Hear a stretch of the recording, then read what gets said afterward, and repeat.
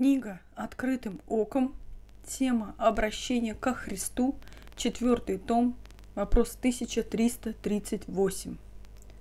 Можно ли верующему пользоваться газовым баллончиком в целях самообороны?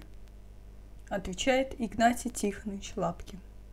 Верующий может пользоваться любым видом самообороны, но только никого не убивать. Он может убегать, скрываться, добровольно сдаться, как Серафим Саровский. Случается, что газовый баллончик отбирают и применяют против его хозяина, а змею стряхнуть с себя не могут. Апостол Павел спасся от сорока киллеров благодаря племяннику и римским начальникам.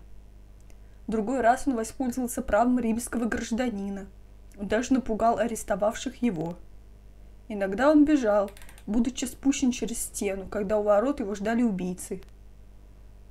Афанасий Великий отсиживался в колодце и прибегал к таким маневрам, каким позавидует любой разведчик. Иногда требуется, чтобы ударить, как Никола Чудотворец или Фекла, посягнувшего на нее языческого жреца. Она так перекинула и, и ударила об землю, что его парализовало на три дня, и он не мог давать даже никаких показаний. Евдокия дунула в лицо Филострату, и он тут же умер.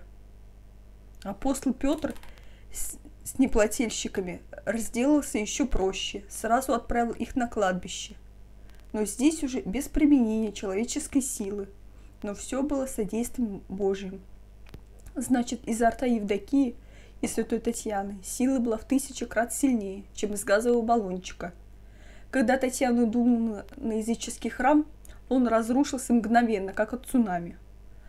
Айсберг де Харлампия 10 февраля ударил такой огнемет, что пожег 70 человек. Вот им и надо подражать, жить так же чисто и свято.